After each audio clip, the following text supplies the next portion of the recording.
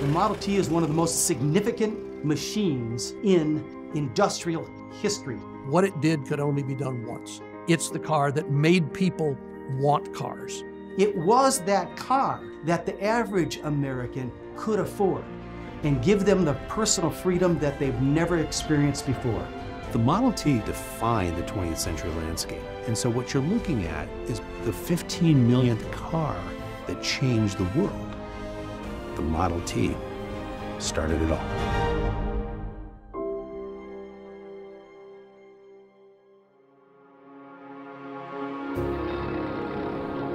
In 1905, you would have multiple modes of transportation. So you'd have a streetcar. There would also be horses with piano box buggies. There'd be horseback riders, bicycles. But you'd also see something different as far as vehicles, too. You would see a steam propelled vehicle, you would see an electric vehicle, you would also see petroleum based vehicles. Think about this the world was not a petroleum based community at that point in time. The automobile was introduced in the United States in the 1890s and they were available from that point forward, but they were very expensive and they were seen as novelties. But the vehicle provided us a freedom and an independence that those other forms of transportation did not. Most people didn't go 50 miles from their home in their whole life until they got their own car. It's hard for people today to understand how transformative the Model T was. It allowed you to do things you didn't know you wanted to do. Nobody knew they wanted to careen down a highway at 25 miles an hour because they couldn't do it until they could. Of course, the Model T eventually made Henry Ford famous throughout the country and eventually the world. Henry Ford was an extraordinarily complex man. Ford went in a million different directions and at 99 sides. He only had this fifth or sixth grade education and was able to build the largest organization in the world. Henry Ford was born July 30th, 1863, about 10 miles from Detroit. His father was a farmer. His mother died giving birth to the eighth child, so Henry Ford lost his mother when he was 12 years old. Wasn't a great student, disliked the drudgery of the farm work at his father's farm. Dropped out of school, walked the 10 miles to Detroit to work in the machine shops when he was 16 years old. Over the next several years, he learned about engines, he learned about foundry techniques, he learned a lot about machines. He got a job as an engineer with the Detroit Edison Company. Rose to become the chief engineer, but he got interested in this newfangled technology that was kicking around of horseless carriages. And he built himself a horseless carriage. A quadricycle. It's a little two cylinder, four or five horsepower engine, finished on June the 4th of 1896. Mr. Ford makes about a mile loop, comes back, goes to work that morning, and just knows that he can build a car. People become aware of the work he's doing. His boss invited him to a convention of Edison engineers. He is introduced to Thomas Edison. Draws a picture of the car on a napkin. Edison is said to have slammed his fist down on the table and said, Young man, that's the right idea, stick with it. Mr. Ford said that no man up to that time had given him any encouragement, and that pound on the table was worth worlds to him. So he comes back and he keeps experimenting. He started a company called Ford Motor Company. He designed a series of cars. His Model N became the best selling car in the country. So by that time, he had a good sense of what the public actually wanted to buy and could buy. He'd had some failures behind him. He had two failed car companies before Ford Motor Company. He'd learned from his mistakes. He also viewed the work that he was doing as play, and he surrounded himself with people who were of like mind. He had a very magnetic personality. People who worked with him, remembering him several years later, said he was able to somehow attract people to work with him and then to buy into his vision. A lot of manufacturers were thinking, you know, let's just build an expensive car, we'll make a lot of profit on each car we sell, and we'll target the rich. That's our market. Henry Ford moved this idea forward to create something that was not just a luxury automobile. A Cadillac by this time is $1,700, really a car for the wealthy. Something he always tried to do throughout his life, and something that he thought was important for the Model T, was to improve the life of the farmer. He grew up on that farm. He understood that it was a very lonely, isolated life. Your nearest neighbor might be two miles away, which again was an incredible distance before the automobile. Ford realized, no, we've got this massive untapped market. There's no reason that middle class, lower class people wouldn't want a car. They would want all of these advantages as well. We've got to build a quality automobile, but one that is affordable enough for everyone to own. He knew that those farmers would buy such a car if he could make it. And in 1907, Henry Ford told a couple of his people, I want you to go up to the third floor. I want you to wall off an area, put double doors in so we can get a car chassis in and out, put a good lock on it. We're going to go in there, we're going to design a new model. With the secret experimental room being constructed in 1907, he would have been in there quite a bit, working on the design of the car that put the world on wheels, the Model T. At the time the Model T was being designed, I think this was Henry Ford at his best. Henry Ford could be a difficult guy to work for he was demanding, but at that point he was still open minded and he would listen to other people's ideas, which is what you need in a creative process like that. These guys were on the cutting edge, and it was exciting to be in that room designing this thing with the ideas flying. A gentleman named Joseph Galamb is one of the about a dozen or less people that were allowed in the experimental room. Uh, he said that for about 10 months they would work from seven or eight, eight o'clock in the morning till eight or nine o'clock at night, continuously on the design of the car. They wanted to build a car that was going to be evolutionary, but it ended up being revolutionary. The Model T provided not only an inexpensive car, but also a vehicle that was a very well built and frankly state of the art car when it was introduced in the fall of 1908. The Model T is a beautiful example of a bunch of different ideas coming together. They did a completely new engine.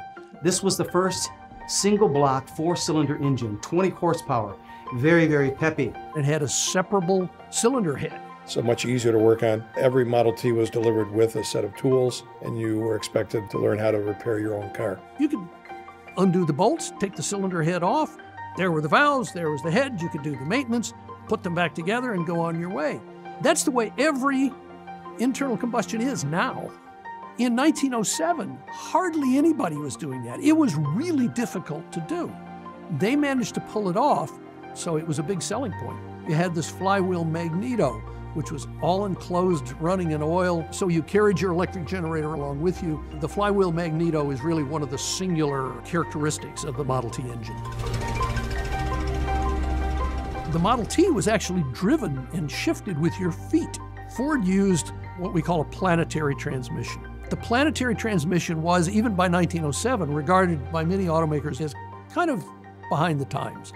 They were going to sliding gear transmissions, which were very hard to shift. The planetary transmission was easy to learn to drive. So it opened up this whole set of potential customers who'd never driven a car before. Seems like everyone's on the move. But we've got to do something about those roads. At the beginning of the century, we had probably the worst roads in the industrialized world. So any car that was going to drive on these roads had to be able to take a lot of punishment. Well, one way to do that is to make the car big and strong and heavy. That also meant expensive. There's another approach. Make the car really flexible. Don't fight the bumps. Go with them. There's one car that takes you anywhere you want to go. The Model T.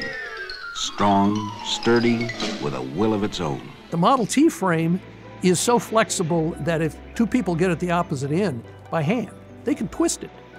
A real key to the Model T was lightweight.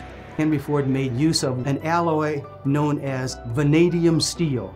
Very light, but incredibly strong and flexible. So things like the chassis and the crankshaft could be thinner and therefore lighter, but still be strong. There's no end to what you can do when you own a car. When the Model T came out, he had to tell his dealers that year to stop taking orders that they couldn't keep up.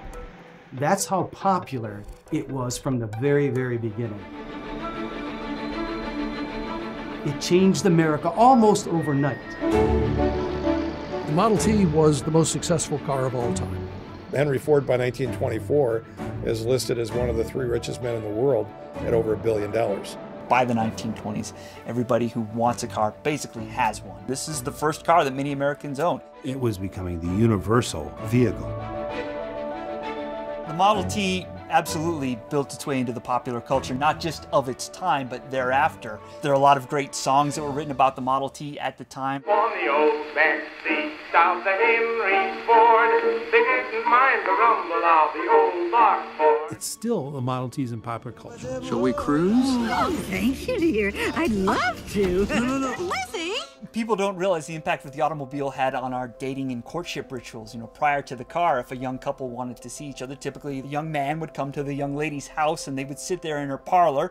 If they were lucky, perhaps the parents would go to another room or they might be able to go sit out on the front porch. But they now had a way to leave the home and basically have a private space. Parking at the drive in or out at Inspiration Point, we take that for granted today, but of course that didn't exist before the automobile if you're gonna try to tell people what the Model T did, you know, in a nutshell, the, the quick way to do it is say, you know, this is the car that put the world on wheels. But what does that mean? You know, we had ways to get around before the automobile.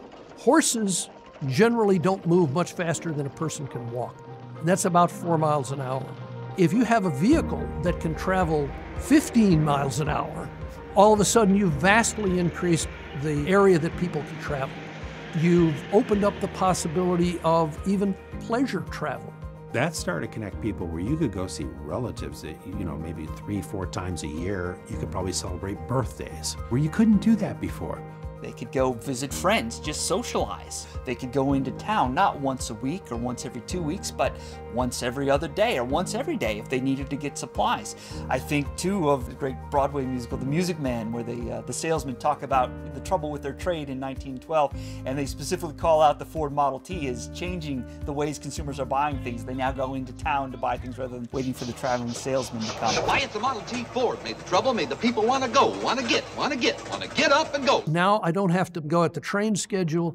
I can get in my car and I can go on my schedule. That in itself, that would be enough if that's all it did. The rest of it was unanticipated. The age of the automobile changes nearly every aspect of American life. When it first came out in late 1908, it cost $850, which was not cheap. It was kind of maybe a little lower middle priced, but it was the best value on the market. Then Ford Motor Company set out on a relentless drive to lower the price. They kept improving the production methods, they kept changing the parts on the car to make them cheaper to produce. Henry Ford said that every time he dropped the price by a dollar, he gained a thousand customers. So, for instance, the brass headlights went away by 14, the brass radiator went away in the middle of the model year of 1916, and the price continued to come down. At one point, you could buy a Model T for $295. Of course, in Ford's desire to drive the price of the Model T down, that eventually led them to stumble onto the whole assembly line. Moving assembly lines had been around for a long time. And again, this was a case where Ford was looking at other industries. Uh, oddly enough, he was looking at the meatpacking industry, where they would bring in animal carcasses and they would move them on a line. Workers would take parts off of those animals, and then by the end of the line, you have meat in cans. Ford said, What if we turn that around and add parts to the vehicle as it moves through the plant? So he did not invent that. He did not invent interchangeable parts. They had been around for more than 100 years. What Ford did was really perfect the assembly line for making something that was highly complicated. And the Model T had something like 5,000 parts, and it was a major accomplishment. Each man on the line became a specialist. He did one thing, and he did it perfectly, and passed the work along to the next man. After they moved to the Highland Park plant by the beginning of 1914, the final moving assembly line reduced the time it took to assemble a Model T from 12 and a half hours down to 93 minutes. It is said by 1924 they were down to 12 minutes. The way the Model T was built with the moving assembly line affected all forms of production in the United States over time. Consumer goods become more available at a lower price because of the assembly line that's spawned by the Model T. Assembly line work Henry Ford found to his chagrin, was work that most people didn't want to do. It was relentless, and it was even more relentless in the early days. You had these craftsmen that were assembling the entire car now standing one place on the line, doing the same operation monotonously for nine or 10 hours a day, six days a week, and they were quitting in droves. So Ford announced on January the 5th of 1914 that a week later, on January 12th, wages would be raised from $2.34 a day for a production worker to $5 a day, making his workers the first in the world that could afford the cars they were building.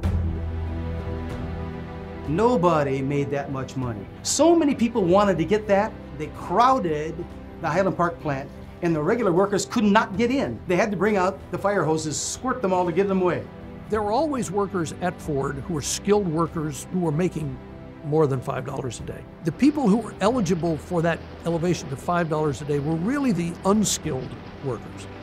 And that's what made it so amazing is you could be unskilled and have the possibility of making this kind of money. Other industrialists called him a communist socialist. He was going to bankrupt the company and destroy the U.S. economy. The news of the $5 day spread across the world.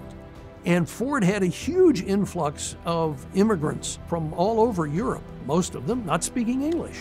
Ford set up an English school, taught them English. You also actually had to qualify for that by, by your behavior. So he created what they called the sociological department that literally came and inspected your house to see if you were worthy of this $5 a day. There was a huge dollop of paternalism here that no one would accept today. Ford really was trying to encourage families to spend it wisely, spend it on the family, spend it responsibly. Be a responsible citizen. That's what he wanted. You've also created a, a, relatively high wage for these people who can turn around and buy lots of stuff with it. Tens of thousands of men on one single payroll have money for themselves and for their families to spend. Much of the rise of the middle class in the 20th century is the fruits of this relationship between the assembly line and pay. The Model T begins to make suburbs possible beyond the limits of a fixed rail line. When you leave 1915 and you go into the 1920s, people are building on the outskirts of towns, not only in towns, and then suburbia in the future, and then post war America. Boom!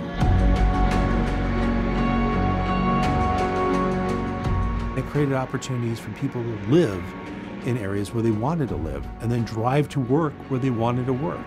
So Ford is actually changing the world as he knows it by creating this new middle class. It's important to remember Ford had no concept of these ultimate consequences. What Henry Ford was also creating, and he didn't realize it, he was creating large numbers of relatively unskilled people in the same industry.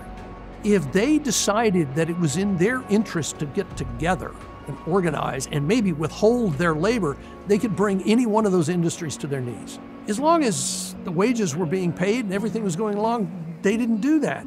But comes the Great Depression, and companies can no longer pay these wages. The workers then begin to organize. And then ultimately, these unions have enormous power. And so the development of this humble automobile unwittingly created the conditions that gave rise to industrial unions. And even Henry Ford, who hated labor unions, ultimately had to sign a contract with the United Auto Workers. The Model T had an enormous effect on the world at large. It was the perfect car at the perfect time. It just hit sort of all the points that people wanted, and bingo. Over time, they sold 15 million of them. The Model T was in production for nearly 20 years, introduced in 1908, built right up through May of 1927. A lot of Ford's executives and his engineers realized, even by 1922-23, that the car was a dinosaur. It was time to be replaced. By 1927, it really was obsolete. One reason he stuck with the Model T is that he didn't like the idea of people buying all these luxuries that he didn't think were really necessary. He thought the Model T was all the car you ever really needed. The world had changed. It's the roaring 20s, and people now are buying cars that reflect their personality, their lifestyle. And so they were looking elsewhere. So Ford finally and reluctantly was convinced it was time to let the car go. And within Ford Motor Company, there was a realization that this is a special event. This is the passing of an era. They'd already done commemorations of the 5 millionth, the 10 millionth Ford. They were out now up to 15 million. Something more than 15 million were made. But symbolically, this was the end of the Model T. May 26, 1927, the 15 millionth Model T rolls off the assembly line at Highland Park. All of the executives and the VIPs came out. Henry Ford and Edsel Ford were there to watch this car come off the line. If we had to describe the changeover that last day when the 15 millionth Model T was built in one word, I think that word would probably be bittersweet. Edsel Ford, Henry's son, who was officially the president of the company, was driving the car off the line. Henry was sitting in the passenger seat. There's a wonderful picture of Henry and Edsel. Edsel looks happy. He's finally glad to see this car laid to rest. He's finally convinced his father they're going to lose leadership in the automobile industry if they don't replace the Model T. Henry, on the other hand, has got this pensive look on his face because he doesn't really know what the future brings.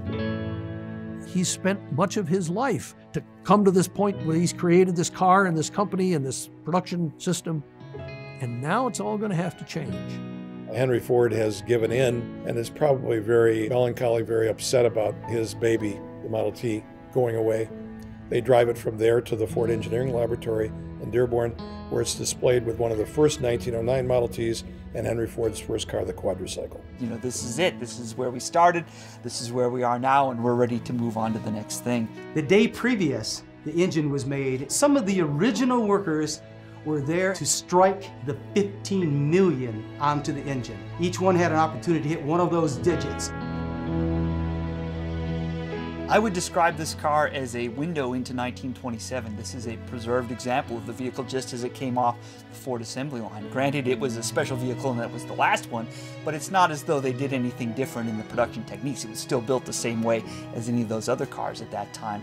It's hard to find original examples of these vehicles, but this is one. So this car becomes kind of the textbook or the reference source for people who want to find out how did they do that all those years ago. The chassis, the engine, the transmission, the flywheel magneto, it's all virtually the same as the first Model Ts that were produced in 1908. This car really never lived life out in the wild. It was always held back by Ford, realizing it was a special piece, needed to be preserved.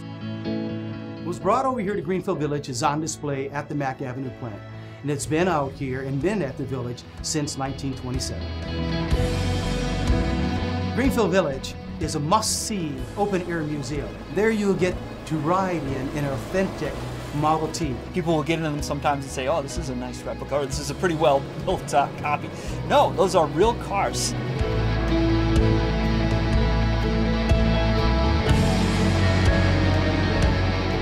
The 15 millionth Model T is significant because in that era, making 15 million cars was a paradigm change. It literally changed our lives. It is an object that brings people together. So the purpose of that 15 millionth Model T is the question of what is the next Model T in the world? What is that next paradigm change?